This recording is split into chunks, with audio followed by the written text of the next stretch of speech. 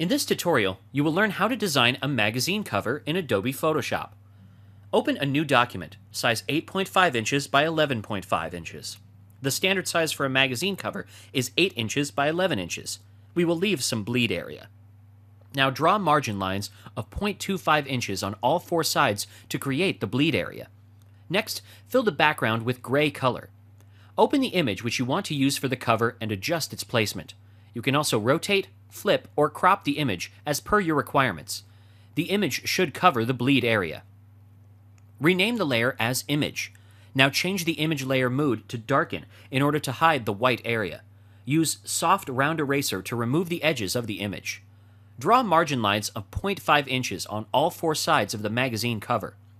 Once the image is set, use the rectangle tool to draw a box at the top right corner. Change the color to red. Use the Type tool to insert the title name of the magazine. Change the color to FFFFFF and font style to Helvetica.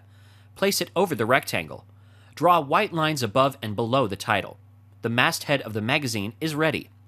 Now draw an elongated rectangle to fill the negative space. Change the color to red. Once done, use the Type tool and insert the price and issue date of the magazine. Use Franklin Gothic font and 14 point size change the color to black, and place it at the top. Now insert the main article heading and change its font style to Minion Pro. In the video, we increased the font size to almost 59 point. Next, change the color to green. Place a few more article titles in different colors and adjust their placement on the cover. The magazine cover is ready.